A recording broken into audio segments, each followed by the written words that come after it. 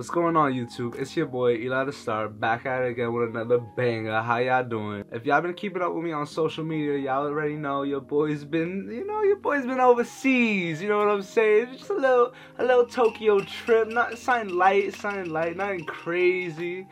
But these pieces today I got, a little crazy. I'm gonna stop yapping and we just gonna get straight to it. So I wanna start off quick. A little Bape tee, you know what I'm saying? Nice and beautiful. I got it straight from the Bape store. Little double XL. I don't know if y'all can see that. So if y'all don't really know, shopping in big sizes in Japan, hard. It's extremely difficult. I'm 6'1". I'm usually like an XL in tees. Like, these tees go hard though. Japanese Bape exclusive, you know what I'm saying?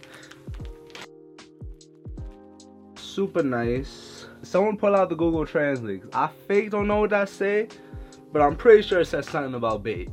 I was originally actually looking for the long sleeve of this, but they were sold out. And I was trying to get it in black, and they sold out. I really messed with this design, so like I already knew I had to cop. I even bought a little mask to go with it. I mean, it's not exactly the same, but kind of close, kind of close. Can you tell I went to Japan yet though? Can't wait to bust out these shirts for the springtime. Follow your boy on the gram and you're gonna see it. There's, there's gonna be a fit flick with it coming soon. You'll see. Now this next piece, got a little Cav Empt tee. Made in Japan. Nippon. I just found it at some random thrift store in some part of Japan, some part of Tokyo, you know, it's a regular day, just walking around Tokyo, you know, casual shit, casual shit. Nah, yeah, I found this in some thrift store. It was basically 20, maybe less. Like, this was for the low. This was a steal, so I had to grab this up. Something I gotta throw into my spring collection, you know what I'm saying? But with those out the way, let's get on to pants. I feel like I got some real nice cups. I'm a size 36 waist. I went to so many different stores, found so many pieces that just called called like Eli please buy me. I had money in hand. When I tell you cash was in my hand ready to be handed but they didn't have my size. I mean like I'm not even that big of a boy. I don't understand but barring all that, I found some fire pieces that I know y'all mess with. These jeans were so hard to find. I found these denims in one of the Kapital stores. I think it was the one in Roppongi. I went to so many Kapital stores just trying to buy literally anything. Honestly, I was just trying to buy anything. But these jeans, they fit perfect. I mean, you can probably see right now, like, I really mess with these jeans. They only really costed me about 250 I don't know how much these are online. I don't really be looking at stuff like that because I'm not one to buy like resale prices. I can't. I'm a frugal spender. I'm gonna show y'all some frugal spending tips in a future video, so y'all should stay tuned for that. I don't really like to go all out, but 250 and this is good quality denim for real. Yeah. Easy, easy, easiest purchase I made. Easiest purchase I made. My next pair, yeah. These were a no-brainer. yeah, I know. Dude told me it was the last one my size. I was like, let me try this on real quick. Tried it on. Yo. But y'all can see this, like, embroidery. All of this is so tough. And the denim, yeah, that, that's all I gotta say about the denim. And y'all thought I was only gonna buy one pair of Evisu jeans? Nah, I got another. Look at this tag. 20% off? Yeah. what? I would be crazy to not have bought these. These only came out to about 220. Purple jeans cost more than these. And purple jeans aren't even that good. Let me just start right there. Purple jeans are kind of trash. But these, yeah. But the pants don't even stop there. Cause I went to Kapital again and got two pairs of cargos.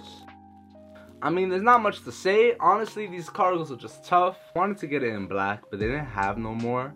These were the last ones, and I was literally flying out the day right after. They told me there gonna be another pair coming in, but I was like, I'm not gonna be here for that. Only thing is, I don't think they actually fit me. So what I'm gonna do is I'm going to post it on my Grailed account. Link will be in the description. So if you are interested in these pairs, please click the link, hit me up, let me know. So the green pair is a size two and the khaki pair is a size 3. So again, if you guys are interested in these pairs, the link will be down in the description for both. Now we're getting on to some of my favorite cups. So we gonna start with some Bapestas. Now, these pair of sneakers right here, these are my first ever Bapestas. I never owned Bape sneakers before until I got these. You can see the leather on this is so nice and it's very cushiony. I tried them on while I was in the store and they felt right. Like, this is a size 11. I went to three different Bape stores to find Bapestas in my size. This wasn't even my first pick, actually. This was like my second pick. My first pick were this fire pair. It was like kind of like Swedish. Oh my, I wanted those so bad. But they did not have a size 11. The biggest size they had was a 9. I'm not a 9. I'm not. I, I'm not a 9. but honestly, what makes this purchase so great, I only paid 175 for these. Exact same pair on the Bape website. $300. I paid 175 USD and I know I check I literally checked my credit card after I paid. 175? Less than a pair of J's. Most of the sneakers over here was not 175. 175? Yeah. These are still. I'm gonna go more in depth on this pair in a future video, so definitely subscribe and stay tuned for when I release that, cause these just fire. Now, before we get into these last few pieces, I want to show you some fire accessories I copped on this trip too. Start off, little billionaire boy club i found this belt at the billionaire boy club in harajuku i'm really looking forward to styling this with some of my outfits little undercover you know what i'm saying i got this fire undercover cuff i mean like it's not much to say just a little undercover on the wrist you know sunlight, sunlight for the day, you know. chill, chill, chill. the past, the future. We make noise, not clothes. Like that's tough. And now, my favorite accessories gotta be these. A little chrome heart to match the chrome heart.